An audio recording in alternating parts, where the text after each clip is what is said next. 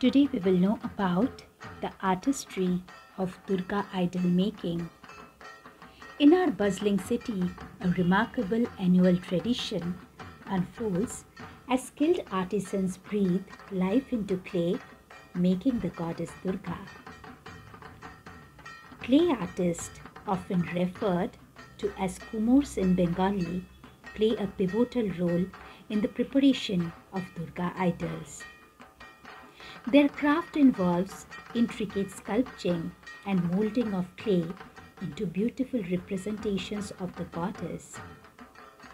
With every stroke, they infuse devotion into art, creating an idol of profound beauty and power, symbolizing the upcoming Durga Puja.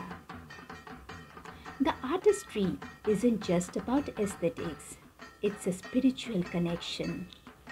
The idols, beyond their intricate details, carry the community's prayers and hopes.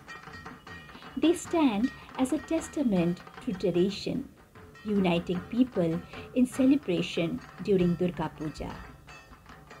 The use of clay, paint, and other materials in idol making can have environmental consequences.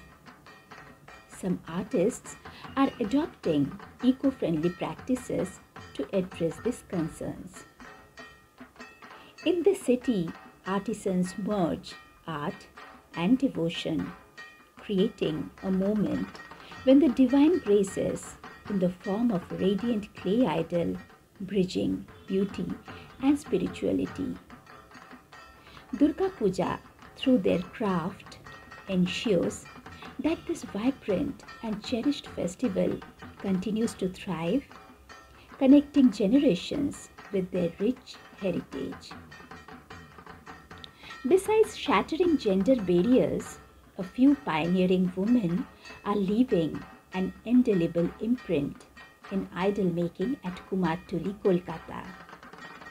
For giving us pleasure for these few days, to make our Durga Puja memorable, they work day and night without sleeping. Their artistic fingers are busy making Durga Ma perfectly. We indeed salute these great artists and their hard artistic work.